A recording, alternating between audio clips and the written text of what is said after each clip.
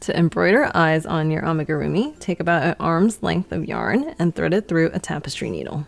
Now, put the needle somewhere into the side of your body and pull it out wherever you want the top of the right eye to be. And pull until you have about a 6 inch yarn tail left.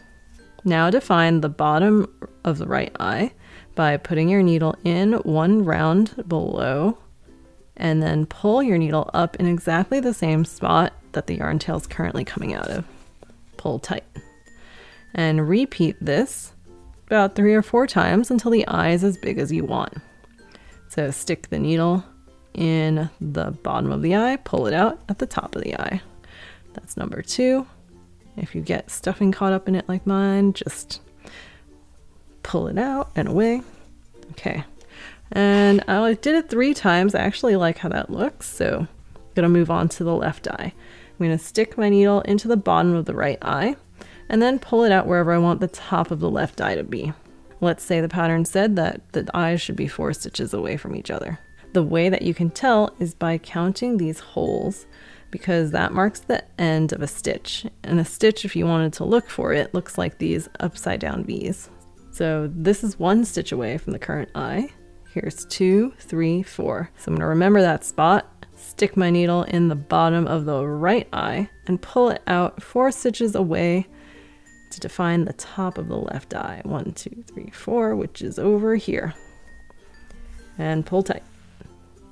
And repeat that with the left eye. So stick the needle where we want the bottom of the left eye to be, pull it out at the top of the left eye again, pull tight, and do this a few times. Ideally the same number of times as you did it to the right eye. So I did it three times. All right, and now to finish it, I'm gonna stick my needle in the bottom of the left eye and pull it out where the yarn tail currently is coming out of. This is where I originally stuck my needle. Then I'm gonna tie a knot with both yarn tails as close to the surface as possible.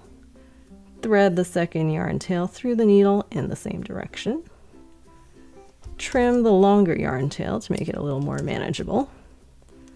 And now put my needle in the same hole that both yarn tails are coming out of and pull it out somewhere on the other side of the piece. So now, last thing we gotta do is cut these yarn tails as close to the surface of the body as possible. And if there's any yarn tail still poking out, just massage it until it disappears. And here you've got embroidered eyes.